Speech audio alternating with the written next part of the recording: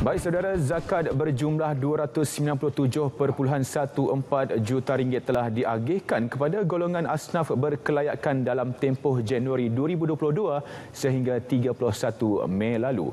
Ia menerusi pelbagai skim bantuan yang ditawarkan Majlis Agama Islam Wilayah Persekutuan Maui. Menurut Menteri di Jabatan Perdana Menteri Hal Ehwal Agama Datuk Idris Ahmad, setiap bulan sebanyak 30,200 ketua keluarga di tiga wilayah persekutuan telah dibantu. Mereka menerima bantuan tetap antara RM500 ke RM1,000 setiap bulan. Bantuan yang kita berikan banyak, ya, 20, banyak bantuan, 30 skim sebenarnya.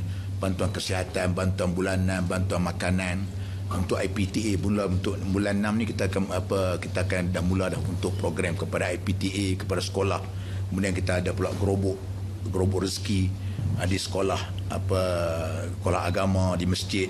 Itu antara benda-benda yang kita berikan lah ah, kepada bantuan rakyat. Begitu juga dengan bantuan makanan ready uh, ready eat yang kita berikan dengan lebih kurang ada RM8 RM9 untuk kita berikan di IPTA dan juga kepada asnah-asnah di seluruh wilayah persekutuan dan juga di Putrajaya serta apa Labuan dan Mawib juga telah memperuntuk sebanyak 40 juta ringgit untuk modal perniagaan dalam usaha melahirkan sekurang-kurangnya 2,000 asnaf yang berjaya dalam bidang keusahawanan tahun ini. Beliau ditemui selepas merasmikan Muzakarah Zakat Kebangsaan 2022 kali ke-9 bertemakan zakat dan kemiskinan di nilai Negeri Sembilan.